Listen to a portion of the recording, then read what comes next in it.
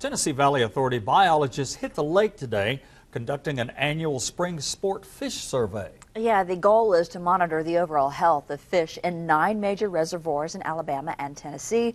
Today was Chickamauga's turn. They use boat-mounted electrofishing equipment to harmlessly stun the fish.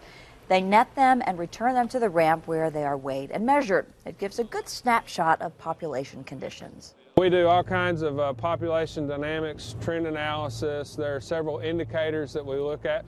One of the things that uh, we'll, we'll check with this is the catch rate. And we know what the long-term average catch rate is for this reservoir.